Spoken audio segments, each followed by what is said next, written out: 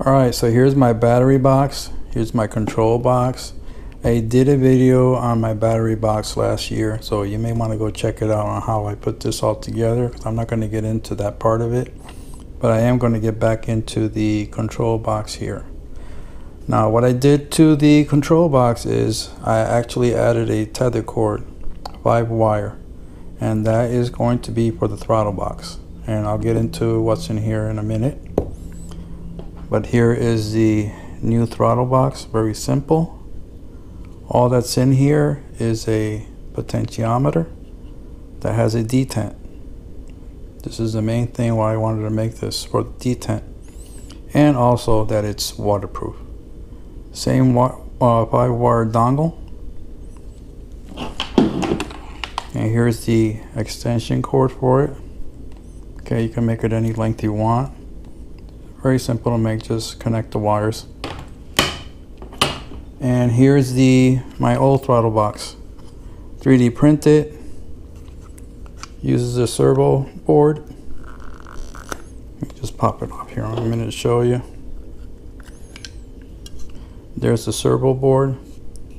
This wiring here used to be wired to it right here, so I'm not going to use it anymore. But uh, this is what we're going to modify. And we're going to change out this potentiometer for one with a detent. Now the difference on this setup here is that the servo board is going to go in here. Let me pop this open to show you.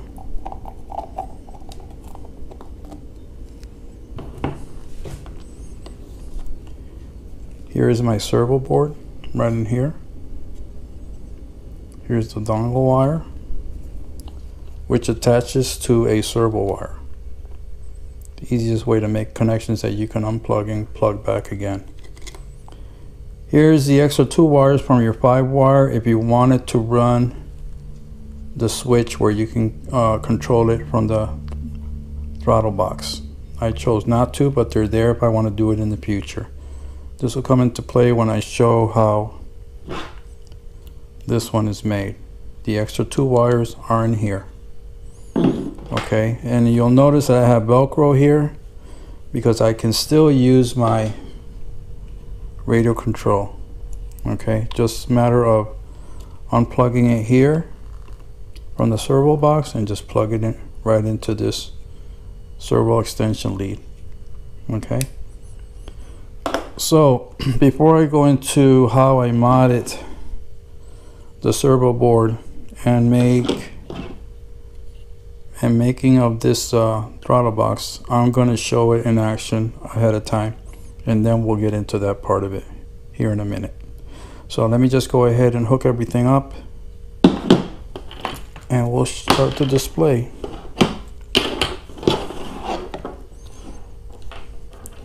So here all you got to do is just line up the pins.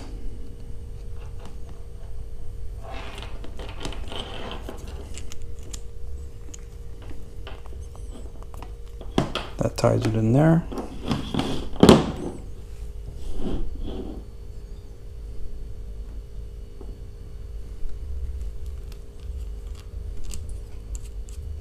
Ties it in there.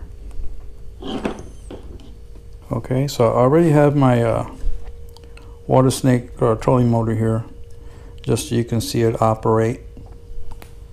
Um, here's my quick disconnect so we'll connect it now and get this thing operational. So you can see the servo board is lit up and the ESC is running I already have my trolling motor um, set to the highest speed and so now we're just going to go ahead and move this to go forward.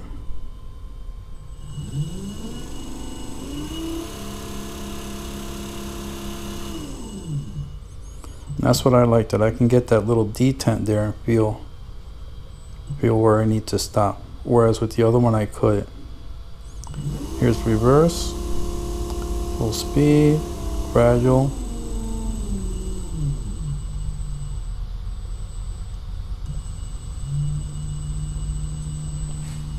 And you can see the pulsing light. You should be able to see it there.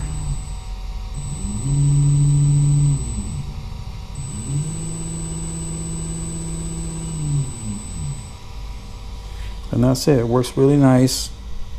And like I said, I do have the option of going wireless, but this is about the throttle box. So we're going to stay on topic with that. All right, so let's quickly move over to how all this was done. And I'm sure it'll help some of you guys out there that are attempting this and don't know how to go about it. So let's do that now.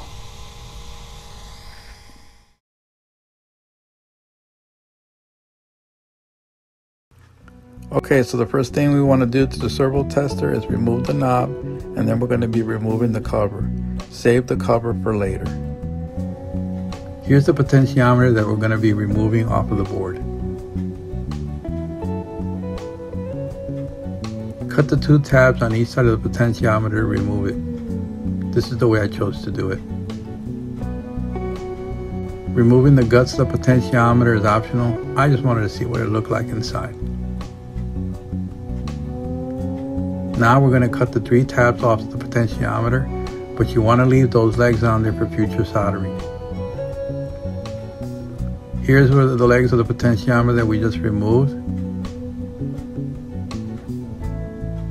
And now we're going to go ahead and unsolder it off the board to completely remove it. Use your soldering iron on each leg on the underside of the board to remove these tabs.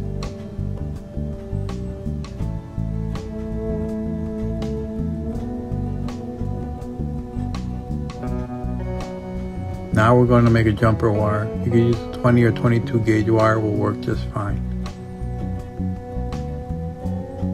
Place that jumper wire into those two holes where the tabs will remove the potentiometer. Now we're going to solder it in place on the underside of the board. And this is what it should look like once you're done.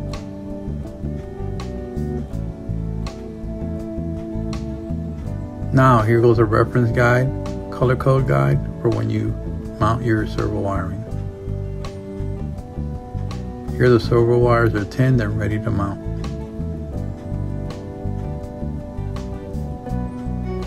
Servo wires are now soldered onto the board and there's your reference guide for the color chart. Now we're going to go ahead and glue the servo wire down to the board to help strengthen those solder joints. This is what it should look like when you're all done.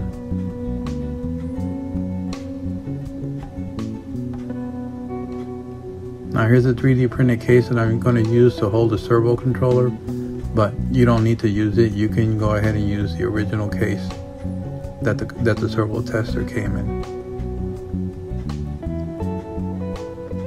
And here's mine mounted on the, P, on the 3D printed case.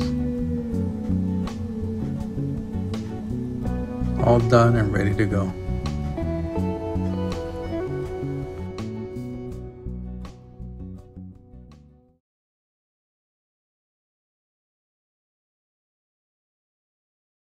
Okay, so here's a little pigtail connection that I'll be using for my setup. Of course, this is optional.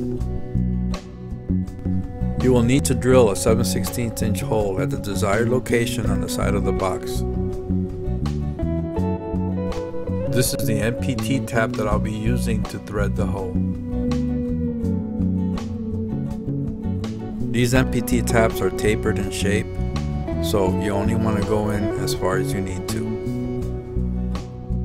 Once I get a few threads showing inside the box, I stop tapping for threads. You can always check the threads themselves using the cable gland to make sure that it's a tight fit and that it'll start. Here I got a tight fit and it looks good. I won't be using the gland nut. Well, so far it's looking good, so let's move on. At this time, drill a quarter inch hole on your cover plate for the potentiometer.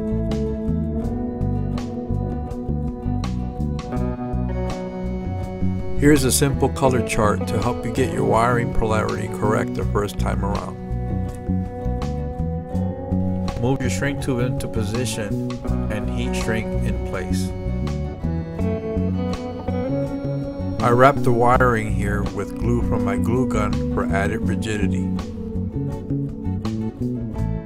The two remaining wires out of your 5 wire bundle can be used for a kill switch, which is an option. This is my 3D printed knob and it will be available for download. This is the hole for the set screw. I chose to use a 1032nd thread. You have the option to force thread the set screw into position or you can tap the hole. Set your knob into position onto the potentiometer and then tighten down the set screw. The use of an O-ring on the knob is optional, but I prefer it. Place O-ring onto the knob groove once the knob is set in place. Now mount the throttle box using your desired kayak mount. Add a couple of stickers and now it's ready for action.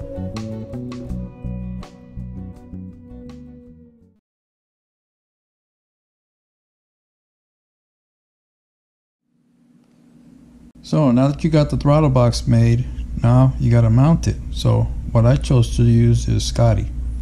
I have so many Scotty accessories, it only makes sense. So what I did was I designed a 3D printed base to mount it into this type of a Scotty mount. And what you'll use is 3M, got it backwards, 3M VHB tape. And all you do is put a couple of slices across here and then mount it in the center okay? So this is my this is my spare one. Here's one that's completed. You can kind of see the tape on there alright? But it's very secure. Here's this one that has already the decals on it. So then all you got to do is mount it clip it and you're done here's my extension cord so all you got to do is attach it like so.